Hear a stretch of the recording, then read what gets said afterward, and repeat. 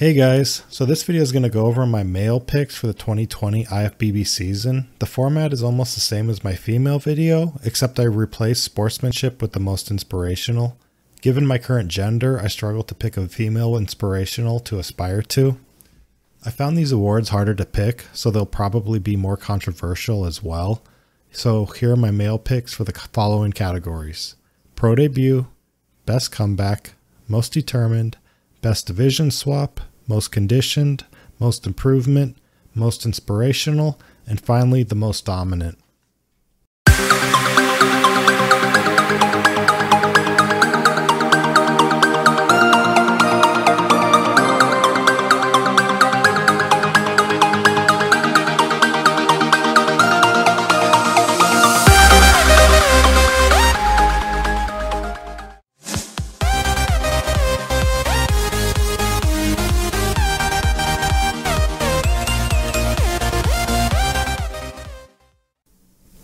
Starting things off, we have Hunter Labrada winning the Best Pro Debut. This award is always going to be unpredictable for the men, as open guys often take a couple years off after winning their pro card because they are not ready for the IFBB.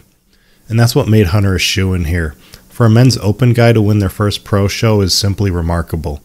Yes, his father did the same back in the 80s, but this achievement has become exceedingly difficult as the standard has elevated to be much higher. Consider that he weighs roughly 50 pounds heavier than his father and many feel he has the better structure. Hunter is probably the only certainty to be a star in the next generation, and I only say that based on his potential and how short his career has been.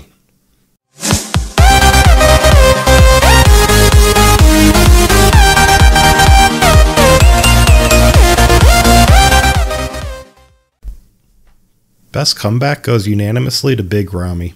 Pretty much everyone outside his camp was skeptical he could pull this off, myself included, this was someone people were arguing didn't even belong in the 2020 Olympia.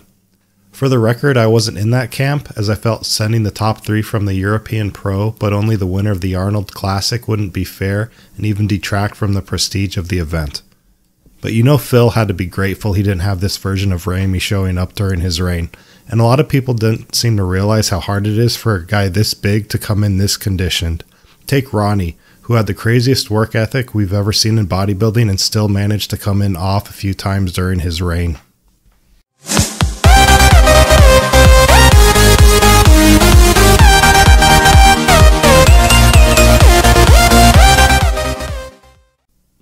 The most determined award is kind of a crapshoot because a lot of the competitors' lives and preps are kept pretty private. But I don't think anyone received more backlash online than Ian Valliere. Some of it might have been self inflicted, but it got bad enough for him to deactivate his Instagram during the Tampa Pro, which he went on to lose. But he didn't let the noise bother him enough to throw in the towel, and the scrutiny only grew worse after he won the New York Pro, as many didn't believe he deserved it. But he redeemed himself unequivocally by placing seventh at the Olympia. What everyone has to respect here, including his detractors, is that he brought perhaps the best possible package he could given his current size, and you can't say that for many of the fan favorites.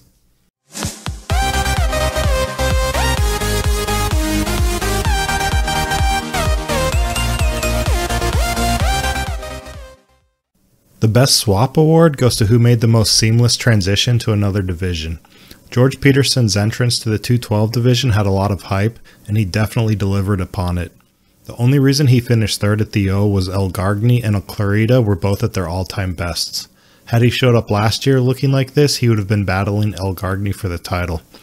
And he's in a very good position going forward as he's actually one of the younger 212 guys, but he's not a lock to be the future champion as he's a couple inches taller than the norm with long legs, so they could prove a liability for him going forward.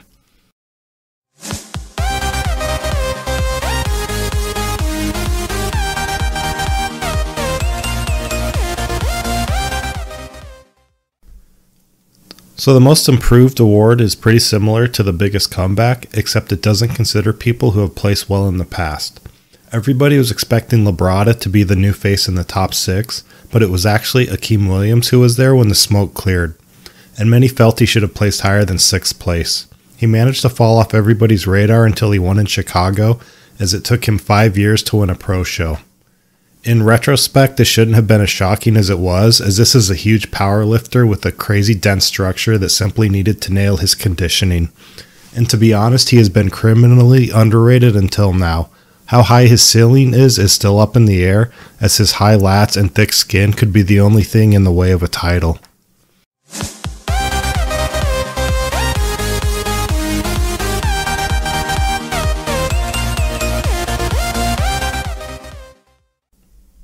So the most peeled award was one of the harder picks to make for the men. I didn't consider the physique or classic guys because it would just become too hard, as they are pretty much required to come in absolutely shredded or they fall precipitously in their placings. Ian Valliere, Big Ramy, Shaun Clarida, and Kamal El Elgargni were all considered. The determining factor I went with was who would probably never replicate this conditioning again, and that's how I ended up going with Clarida but I'm not sure this is his peak, as he still has room to grow in his weight class.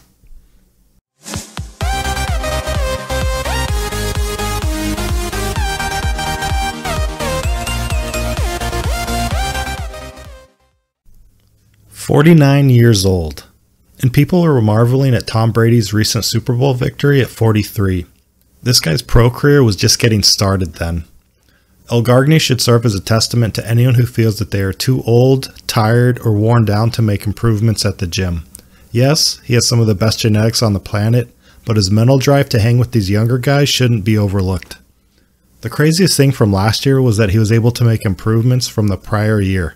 Going forward, one must ask an almost implausible question Can he peak at 50 years old?